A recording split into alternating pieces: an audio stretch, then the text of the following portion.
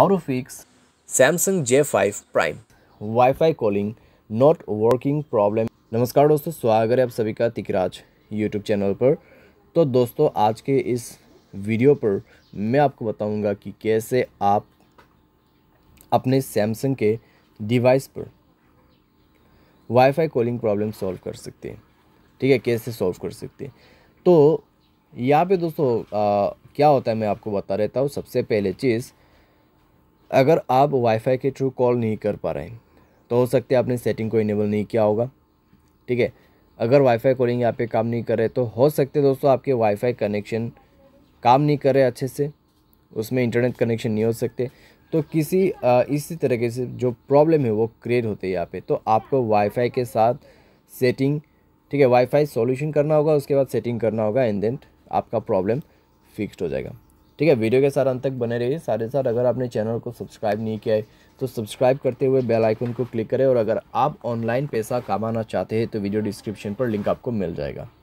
चलिए दोस्तों, वीडियो शुरू करते हैं। तो दोस्तों, सबसे पहले आपको यहाँ पे क्या करना है? आपको सेटिंग ओपन करना है।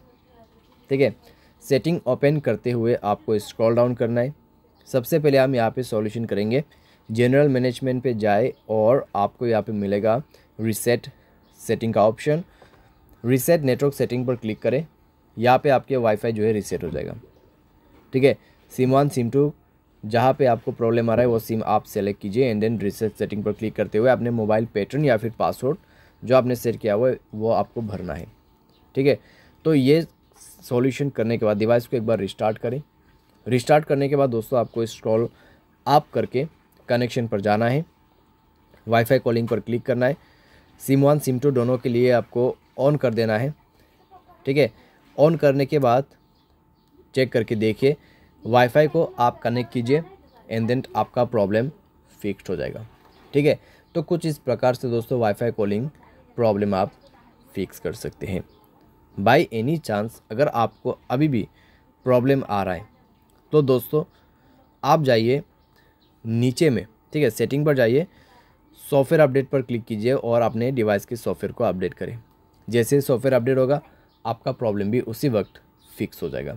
तो इस तरीके से आप वाईफाई कॉलिंग प्रॉब्लम फिक्स कर सकते हैं, ठीक है?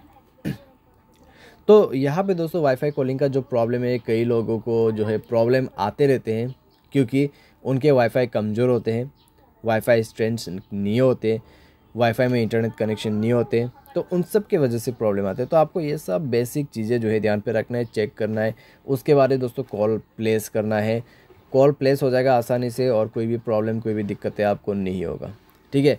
तो ये है दोस्तों आपके Airtel WiFi calling not working problem का सॉल्यूशन उम्मीद करते हैं दोस्तों वीडियो आपको पसंद आया होगा। Thanks for watching